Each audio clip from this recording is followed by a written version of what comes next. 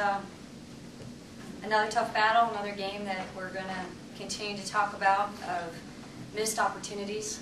Um, You know, we always battle with DePaul, and we have great games with them, and, you know, in the second half, some missed assignments equaled scores for them, and some unfortunate turnovers uh, for us, unforced turnovers, took away opportunities for us to look to score. So um, I don't really have any wisdom except to say that we will get back to work tomorrow and keep trying to find a way to, you know, take these close games, take these leads, extend leads.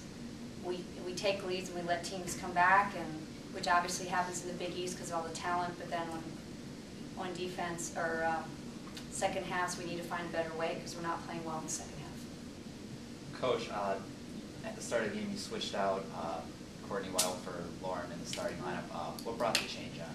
Just, uh, just to try to open things up on the inside because of Courtney's shooting ability. She hit some quick threes, unfortunately, she didn't hit any the rest of the game.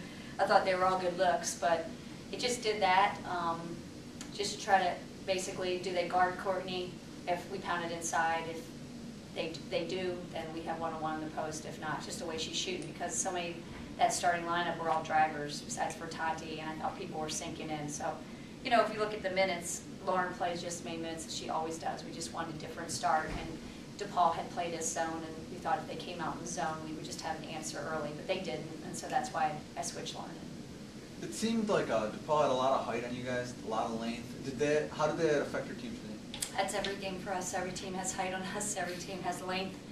Um, you know, they got a lot of paint scores inside. We switched to zone down the stretch, and we took care of the paint, but they hit two threes back to back in that stretch, which, I mean, overall, they only hit five out of 20, which is great odds, but the two they hit were just game critical threes that made us switch again and get back out. So uh, that's a chance you take, and, you know, we know that. We usually try to play zone and man, but we played a lot of man to try to negate, uh, negate size with ball pressure.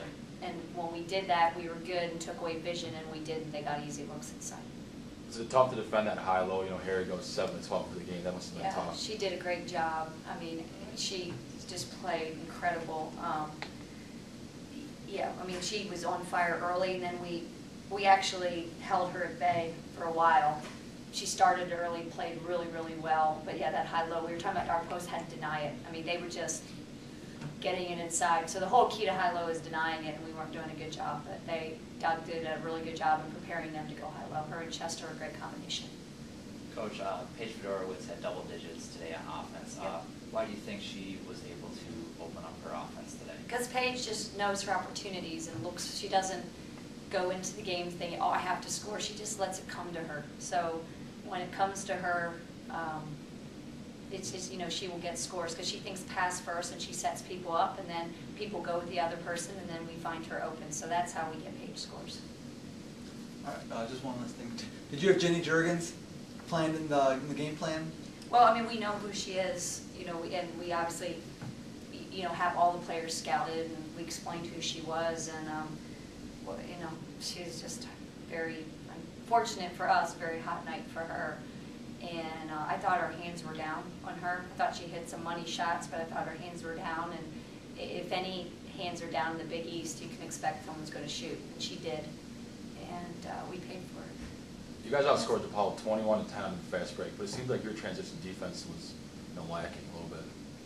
Yeah, um, in the first half, we only gave up two, two fast break points, and I thought that was great. In the second half, um, you know, it was just an up and down game, and we did some extra pressing when we were down, and they got some really easy looks because we didn't, uh, we, uh, what am I trying to say? Like, once we trapped, we didn't rotate correctly, and they got some easy looks. So that was, I think, some of the problem there, but we were more in a desperate mode at the end. I thought we were doing okay there for a while. Mean, they started fast, called that timeout, then we were okay, and then things went downhill at the end. Anything wrong, anything else? Coach, what do you think uh, was the biggest change for you guys from the first half, where you guys were in control for most of it, in the second half, where DePaul was in control? Uh, you know, if I had that answer, we probably have more wins because it's been how we've played second halves majority of the year. We've not played them well, so I don't know what this phase. I'm not saying majority. It's a phase we're in right now of losing. You can look statistically and see that the second halves we were struggling, especially in defense. But if I point to the number, they shot 56%. That's that's really telling about our defense, um, about getting out contested shots.